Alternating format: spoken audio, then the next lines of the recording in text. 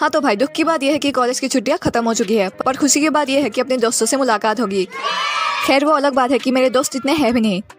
तो मैं अपने बोरिया बिस्तर को समेटने के बाद कॉलेज के लिए रवाना होती हूँ।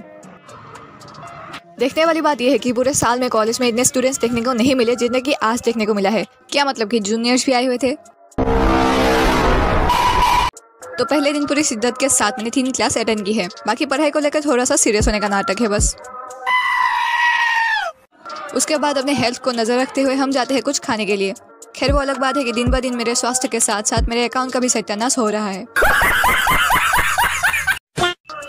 तो खा भी के मैं अपनी बसंती को लेकर घर वापस आती हूँ।